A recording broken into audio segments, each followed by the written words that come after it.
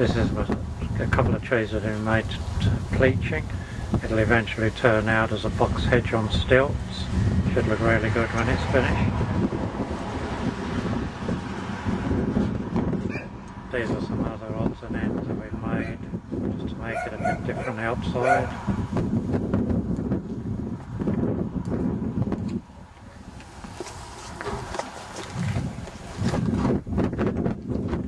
To the front we have the cones on either side and in the middle of ficus.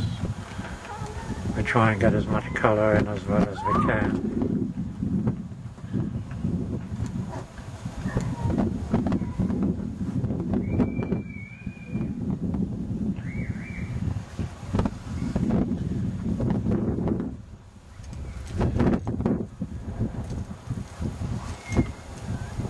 Here we have a duck sitting up begging.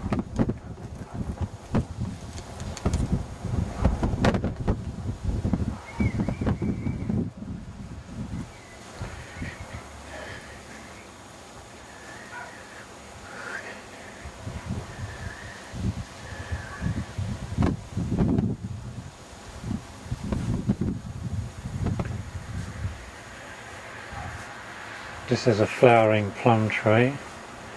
When it flowers, it looks like a pink a table with a pink tablecloth over the top and draping down.